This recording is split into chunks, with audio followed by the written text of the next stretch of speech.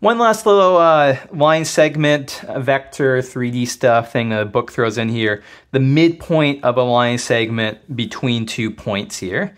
P1 is x1, y1, z1. P2 is x2, y2, z2. It's the point, and there's a pretty nice formula for it. All we have to do is average together each component, uh, the, the two components separately. So what's the average x1, x2?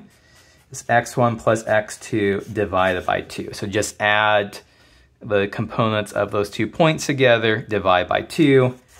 The y coordinate is going to be y1 plus y2 divided by 2. That's the y entry of the midpoint here.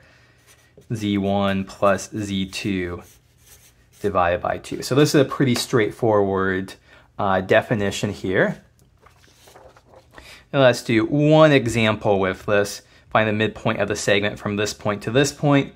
Uh, all we have to do is, okay, 3 plus 7 divided by 2, negative 2 plus 4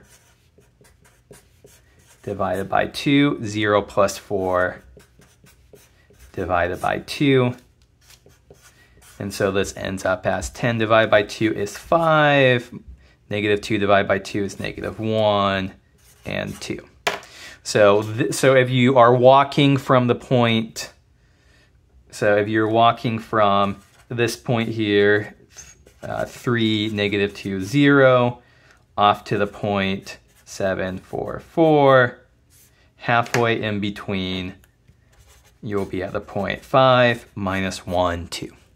That's all that's going on here.